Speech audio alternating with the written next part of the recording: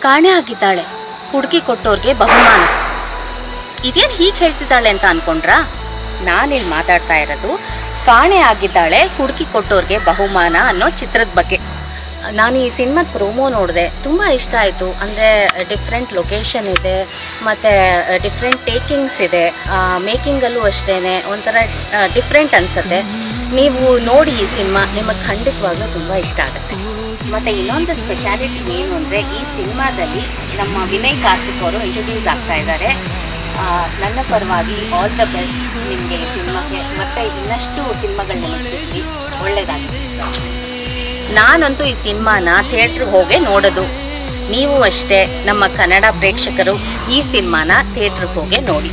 ಮತ್ತು ನನಗೆ ಈ ಸಿನಿಮಾದ ಬಗ್ಗೆ ಏನು ಅಂದರೆ ಇಬ್ಬರು ಹೀರೋ, ಹೀರೋಯಿನು ಫಸ್ಟ್ ಟೈಮ್ ಮಾಡ್ತಾ ಇರೋದು ಇಬ್ಬರು ಅದ್ಭುತವಾಗಿ ಪರ್ಫಾರ್ಮ್ ಮಾಡಿದ್ದಾರೆ. ನನಗೆ ನನ್ನ ಸಾಂಗ್ ನೋಡಿದೆ, ನಂಗೆ ತುಂಬಾ ಇಷ್ಟ ಆಯಿತು ನಿಜವಾಗ್ಲೂ.